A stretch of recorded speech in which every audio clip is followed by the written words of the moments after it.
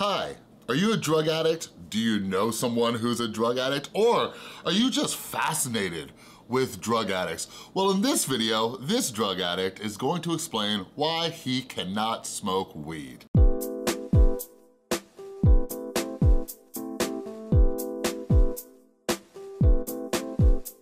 What is up, everybody? This is Chris from The Rewired Soul, where we talk about the problem, but focus on the solution. And if you're new to my channel, my channel is all about mental health, addiction recovery, and all that stuff. So if you're into that, make sure you subscribe and ring that notification bell. And if you're not yet, follow me over on Instagram and Twitter at The Rewired Soul. And why should you follow me on Instagram and Twitter?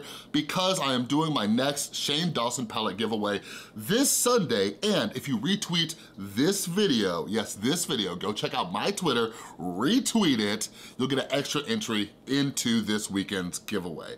All right, so yeah, let's talk about marijuana, okay? So before I get started and kind of share my experience and everything like that, um, I just wanna say real quick, this is my experience, okay? Those of you who don't know me, hi, my name's Chris. I am a recovering drug addict and alcoholic. Uh, my addiction started with alcohol, um, then my primary drug of choice was opioids, okay? But I'm the type of drug addict where you give me anything that will get me out of the current state of mind that I am in, and I will try it, all right? So after destroying my life and almost dying, I got sober on June 23rd, 2012, so I have a little over seven years sobriety. Aside from that, I am also in the middle of getting my CADC, which is a Certified Alcohol and Drug Counselor's License, and I have also worked in a drug and alcohol treatment center for a little bit over three years, okay? So I was working there, and not only did we um, help people with addictions, but also mental illness, okay? So the next thing I wanna say is I live in Nevada, okay? Here, weed is legal. And guess what? I voted to legalize weed because if you can smoke weed or if you like to smoke weed, I do not care, all right? Same thing with alcohol. I can't drink alcohol, but you wanna drink, get your drink on, baby girl, all right? So anyways, let's jump into this. Um, so yeah, I'll just share my experience with weed and uh, like I said, like, if, if you're an addict in recovery, like I get a lot of people ask me like, hey Chris, I got sober off these drugs, can I still smoke weed? Or I get family members who ask me and like, hey, you know, my, my loved one just got sober, can they safely smoke weed? So I'm gonna share my experience, okay? So as a kid, I was a good kid. I was a great kid okay, growing up. But I, um, you know, I, like many other children, I succumbed to, uh, you know, uh, peer pressure when I was young and I was always trying to fit in and everything like that. And uh, yeah, I, I can't remember, I was probably, was it high school? Yeah, I think I was maybe 14 or 15. Yes, this first time I smoked weed, we ditched class and we like, uh, we smoked weed in this weird little tunnel thing by my high school. It was weird. And I came back and I was super paranoid, super paranoid at school, right? And I didn't like it. I didn't like how it made me feel at all. And um, eventually the, those same friends, like my dad was out of town and uh, yeah, they, they brought over some weed and we smoked again. We did this thing called a gravity bong where it was like in a bathtub and everything and it got me messed up. And yeah, again, I was super paranoid. I just didn't like how it made me feel, right? And yeah, um, even though uh, I'm a recovering addict and alcoholic, I didn't really um, drink or anything aside from smoking pot like until the end of my senior year, okay? And then that's when I fell in love with alcohol. It, you know, the first time I drank, it calmed down my anxiety, my depression went away, you know, like all these things. It was like this magical elixir that I've been looking for my entire life, all right? So, as my alcoholism progressed and then I ended up finding, you know, prescription opioids, um, I, I didn't really smoke pot like that much. Like if the only time I would really smoke is if we were like having a party and like other people were smoking and I was just insanely drunk and like, yo Chris, you want a bong rip? And I'm like, sure, right? Never liked it. Um, but anyways, there were a few times when my drug dealer would run out of uh, pills because I would mainly buy pills. And there were some times when he, when he ran out of pills and he'd be like, hey, I don't have any pills, but you know, I got weed. And like, like I said, you know, part of my addiction is like, I would do anything, I would take any substance that would turn this thing off. All right, so even when my dealer did not have my drug of choice, it's like, what other drugs do you have? Sure, I'll give it a try, right? And yeah, like, so even in my 20s when I uh, would smoke, like I'd get really paranoid, I'd get really anxious and all of that, right? So anyways, my addiction got progressively worse. I've done a million videos on this, so I won't go through my entire addiction story, all right? But I, you know, I, I was losing everything. My kid's mom threatened to take my son away. You know, I, I tried 12-step programs. I tried going to a detox center, and I just kept relapsing, okay? I am a chronic relapser, all right? I love drugs and alcohol so much, okay? And I don't know how to deal with my life, so I kept turning back to those things. So after I went to a detox center to get off drugs and alcohol and I got out, like things were going good for a while. I stayed clean. Like when I left that detox center, they, they recommended, they're like, hey, you know, go to this outpatient program and go to these 12 step meetings. I'm like, I got this. I don't need your silly Jesus freak 12 step programs. I don't need your outpatient program. I got this, right? And I stayed clean and life started, uh, you know, getting better. But um, one of the ways, and you guys might be able to relate to this, one of the ways um, I always justified my blackout drinking and drug use was I couldn't sleep. I have this brain that's constantly going and I couldn't sleep. So after I got sober, I was having a lot of problems sleeping and my roommate, he smoked pot. And like, you know, I was telling him about my sleep issues and he's like, here, he's like, do you want to smoke? It'll help knock you out. And that's one thing, like, weed always helped me go to sleep. So I'm like, okay, whatever, right? Because I'm a drug addict. My problem is with opioids, my problem was with alcohol, my problem's not with weed. I can smoke all the weed I want, right? So I started um, smoking like just at night to go to sleep and everything like that. And, uh, and yeah, uh, basically what happened was I, I, was, you know, clean, quote unquote clean for a few months. I use air quotes because I was still smoking pot and I, I ended up getting injured. Um, I got uh, calcific tendonitis in my shoulder and I had to go to the emergency room and they prescribed me uh, some Vicodin when I left. And like, in the hospital, they didn't give me any pain medicine. They shot me up with some kind of anti-inflammatory. Felt a million times better, but they sent me off with this prescription just in case, right? And like, usually when I tell this story, I don't, I don't even mention the weed part, like unless I'm doing something like this or I'm specifically talking about weed.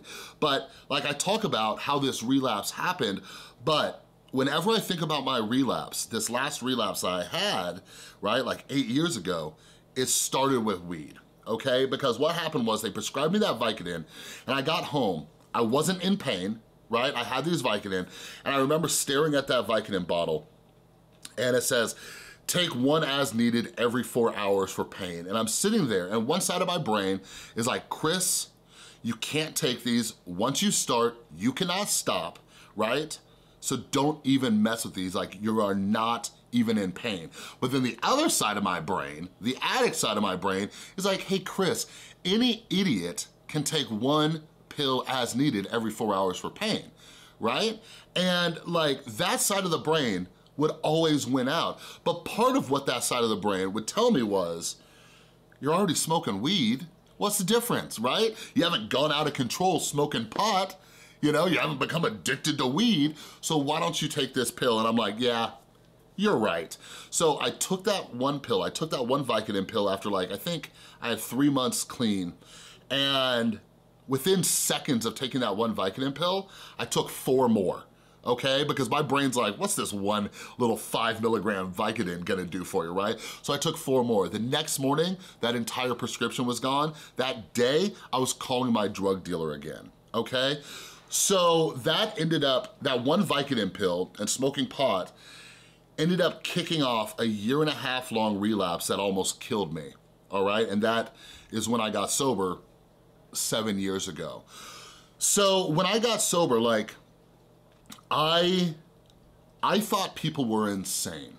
Like when I went to AA meetings and they were like, we haven't drank in this many years, right? I'm like, you guys are ridiculous. I'm like, there's no way you haven't had a single drop of alcohol. Like, that's how crazy it was for me, right? I'm like, why would you not even drink a beer, you know? Because I couldn't fathom it. That's the kind of insanity I was in. I could not imagine a life where you're not taking any type of substance to alter your current state of mind, right?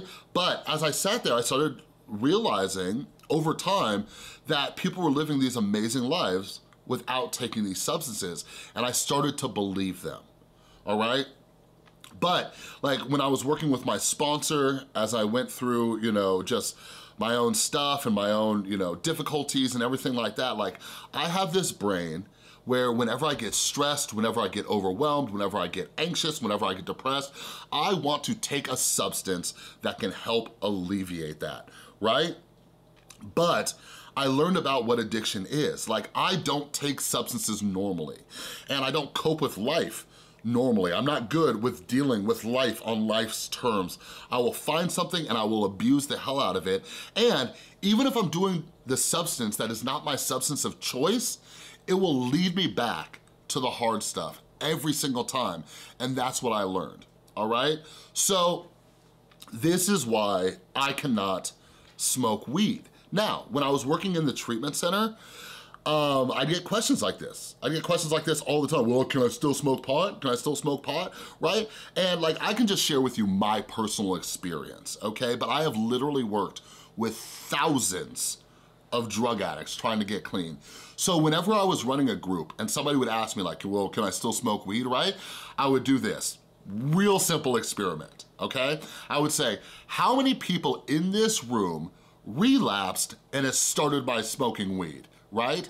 You'd see so many hands go up, okay? Because like, here's the thing, you don't gotta believe me. Like, if you are a recovering addict and you've had relapses um, attributed to weed, like you started smoking weed and then it led you back to your drug of choice, just let me know down in the comments below. Because here's the thing, here's what I learned in my recovery.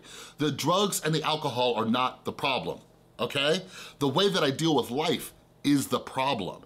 I didn't know how to deal with life. I didn't know how to deal with any feelings, thoughts, emotions, anything like that. And let me tell you this, with seven years clean, like the freedom I have now is amazing, okay? Like does life still get, I don't know, lifey? Yeah, absolutely. Those of you who follow my channel, you know that this year has been a mother effer. You think I didn't wanna like have a drink? You think I didn't wanna smoke some pot? Right? Like I wanted just the, the insanity in my head to stop for five damn minutes. But I know that that will just take me back to my drug of choice. And I have way too many things in my life right now to even risk it. And this is what breaks my heart because I see people in early recovery who are risking it. They're like, oh, you know, I'll try it. I'll see if I can do this right? And it's just, you know, it's part of a bigger issue, and I don't have enough time to dive into this, but it's part of a bigger issue that we are taught from a young age that if you are feeling any type of way that you don't wanna feel, just put something in your body. Just put something in your body and change the way you feel, right? But what recovery has taught me, and one of the reasons I, I, I, have this channel and I try to help others is because I no longer need those things. I have so many tools. I have so many tools at my disposal that I can't even keep track of, right? Like today, I have my therapy appointment, all right? I have meditation, I have journals, I have just so many different other coping skills that do not involve substances. So like, yeah, like I said, weed is legal here in Las Vegas. I smell weed all the time, everything like that. But I know for me personally, it will just take me right back to my drugs of choice and I will destroy my life and everything that I've gotten back over the last seven years, all right? So like I said, this is my experience. If you have experience with this stuff, feel free to share down in the comments below, but I get a lot of questions about this, everything like that, so I wanted to hop on here and share that with you, all right? But don't forget, go over to my Twitter, at The Rewired Soul, retweet this video, and you will get an additional entry into the Shane Dawson palette giveaway happening this Sunday. All right, but anyways, that's all I got for this video. If you like this video, please give it a thumbs up. If you're new, make sure you subscribe and ring that notification bell. And a huge, huge thank you to everybody who supports the channel over on Patreon, as well as everybody who supports the channel by buying my mental health books over at therewiredsoul.com, as well as my merch and all that good stuff. All right, thanks again for watching. I'll see you next time.